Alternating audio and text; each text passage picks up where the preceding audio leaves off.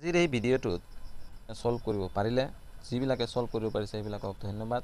আৰু যিবিলাকে কৰিব পৰা নাই সেইবিলাকৰ কাৰণে আজি এই ভিডিঅ'টোত এই প্ৰেক্টিচ প্ৰশ্নবিলাক আজি ইয়াতে আলোচনা কৰা হ'ব।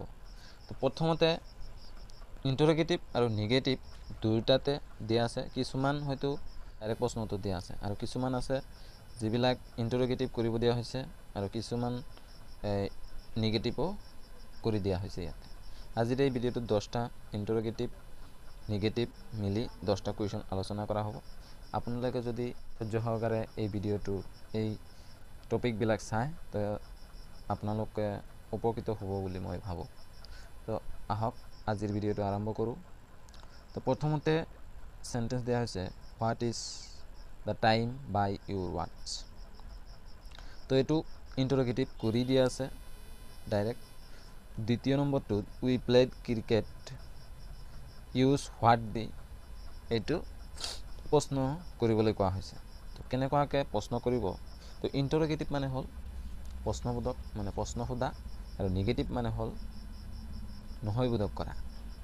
এইটো ইণ্টাৰগেটিভ কৰা হ'ব হোৱাটেৰে তাৰপিছত এইটো নিগেটিভ কৰি দিয়া হ'ব।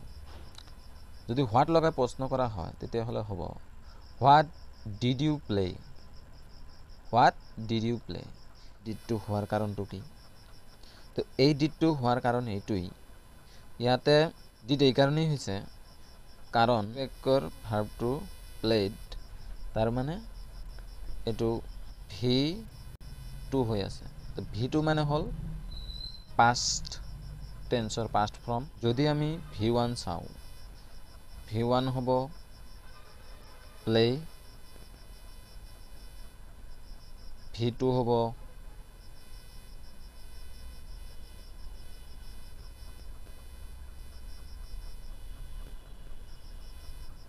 প্লেট আৰু ভি থ্ৰী হ'ব থ্ৰী হ'ব প্লেট ইয়াৰ V one play V two played আৰু ভি থ্ৰীও প্লেট আকৌ V four V four V four মানে হ'ল one plus I N G. এই দুটা মিলি ভি ফ'ৰ মানে এইটো হৈছে। আপোনালোকে গম পালে যে এইটো কিহৰ কাৰণে ডিড হ'ল যদি পাষ্ট টেন্সৰ ভাৰ্ব থাকে তেতিয়াহ'লে এই বাক্যটোত আমি ডিড ব্যৱহাৰ কৰিব লাগিব। তো আপোনালোকে হয়তো বুজি পাইছে এইটো। তাৰ পৰৱৰ্তীত দিয়া হৈছে নিগেটিভ কেনেকুৱাকৈ কৰা হয়। নিগেটিভ মানে হ'ল নহয়বোধক কৰা। আমি অক্সিলাৰী ভাৰ্বৰ য'তেই আমি বহাই দিব লাগিব। যদি অক্সিলাৰী ভাৰ্ব আপোনালোকে নাজানে আপোনালোকে চৌব্বিছটা অক্সিলাৰী ভাৰ্ব আছে এই চৌব্বিছটা অন্য এটা পৰৱৰ্তী ভিডিঅ'ত আলোচনা কৰা হ'ব। তাৰোপৰি যদি অক্সিলাৰী ভাৱ নাথাকে তেতিয়াহ'লে ডু ডিড ডাছৰ সহায় লোৱা হ'ব। সহায় লৈ আমি নিগেটিভ কৰিব লাগিব। তো এইটোত যিহেতু পাষ্ট টেন্সৰ কথা কৈছে ইয়াতে আমি ডিড ব্যৱহাৰ কৰিম। তো ডিডৰ পিছত আমি নট বহাই দিম। We did not play cricket এইটো নিগেটিভ হৈ গ'ল ওপৰতটো ইণ্টাৰগেটিভ তিনি নম্বৰত কৈছে the Brahmaputra is the biggest river in Assam rewrite the sentence using which which লগাই এইটো প্ৰশ্ন বনাব লাগে তাৰমানে ইণ্টাৰগেটিভ কৰিব লাগে। Which is the biggest river in Assam he has none to help him আক্স a question using how এইটো negative কৰা আছে এইটো ইণ্টাৰগেটিভ কৰিব লাগে। হুইচ হৌ লগাই তাৰমানে প্ৰশ্ন কৰিব লাগে। Which there to help him which there to help him পাঁচ নম্বৰ দিয়া আছে I like swimming আক্স a question using what what লগাই এইটো প্ৰশ্ন কৰিব লাগে। হোৱাট ডু ইউ লাইক এইটো প্ৰশ্ন কৰা হ'ল। তাৰপিছত সাত নম্বৰত দিয়া হৈছে দুটা টেক কুৱেশ্যন দিয়া হৈছে ইয়াতে। দ্য ৰ'জ ইজ বিউটিফুল ইয়াতে চাওক এইটো কিন্তু ইয়াতে? যদি ব্লেংক কৰি দিয়া হয় তাৰমানে এইটোৰে এইটো মুচি দিয়া হয়। মুচি দিয়া হয় তো চেণ্টেঞ্চটো হ'ব দ্য ৰ'জ ইজ বিউটিফুল তো এইটো টেক কুৱেশ্যন কৰিব লাগে। টেক কুৱেশ্যন কৰিবলৈ হ'লে টেক কুৱেশ্যনৰ নিয়ম আছে।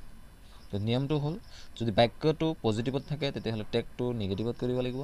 আৰু যদি বাক্যটো নিগেটিভত আছে তো টেকটো পজিটিভত কৰিব লাগিব। তো উদাহৰণ চালে আমি গম পাম। চাওক প্ৰথমটো দিয়া আছে। বাক্যটো প্ৰথমত দিয়া আছে দ্য ৰ'জ ইজ বিউটিফুল তো এই বাক্যটো পজিটিভত দিয়া আছে। তো আমি টেক কৰিবলৈ হ'লে এইটো নিগেটিভত কৰিব লাগিব। ইণ্ট ইট দ্বিতীয়টোত চাওক হি ডাজেণ্ট ন' মি এইটো নিগেটিভত দিয়া আছে এইটো পজিটিভত কৰিব লাগিব।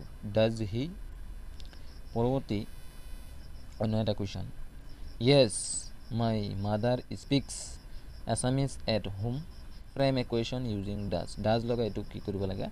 প্ৰশ্ন কৰিব লাগে। Does your mother speak Assamese at home প্ৰশ্ন কৰা মানে কি? ইণ্টাৰগেটিভ চেণ্টেঞ্চ তাৰপিছত yes there is a canteen in the college তো এইটো কেনেকুৱাকৈ ইণ্টাৰগেটিভ কৰিব?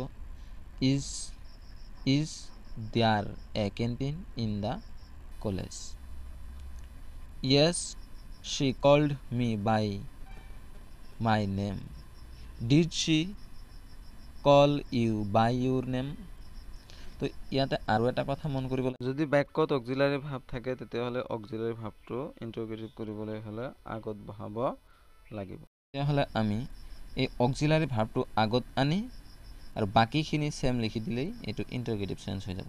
ইয়াতে আপোনালোকে চাব পাৰিব চাওক yes there is a canteen in the college ইয়াতে কিন্তু অক্সিলাৰী ভাৰ্ব হ'ল ইজ এই অক্সিলাৰী ভাৰ্বটো ইয়াতে আগত দিয়া is there a canteen in the college শেষত প্ৰশ্নবোধক ইয়াতে ফুল ষ্টপ আছে ইয়াতে প্ৰশ্ন ফুল ষ্টপ উঠাই দি প্ৰশ্নবোধক দিলেই বাছ এইটো ইণ্টাৰগেটিভ চেণ্টেঞ্চ হৈ গ'ল।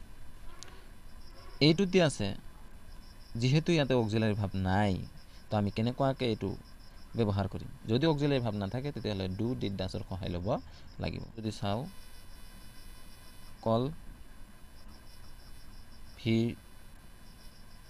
টু যদি চাওঁ কল্ড আৰু ভি থ্ৰী ভি থ্ৰীও এইটোৱে ছেম ভি টু আৰু ভি থ্ৰী একেই। অকল মাত্ৰ ভি ওৱান টুহে। আৰু যদি ভি ফ'ৰ কৰোঁ তেতিয়াহ'লে ভি ওৱানৰ লগত কলৰ লগত আই এন জি যোগ কৰি দিলেই ভি ফ'ৰ হৈ গ'ল। এইটো ভি ফ'ৰ হৈ গ'ল। তো আশা কৰোঁ আপোনালোকে বুজি পাইছে। তো এনেকুৱা ধৰণৰ ভিডিঅ' চাবলৈ নতুন হৈ থাকে তেতিয়াহ'লে চেনেলটো ছাবস্ক্ৰাইব কৰিব আৰু যদি ভিডিঅ'টো ভাল লাগে আপোনাৰ বন্ধুবৰ্গলৈ শ্বেয়াৰ কৰিব।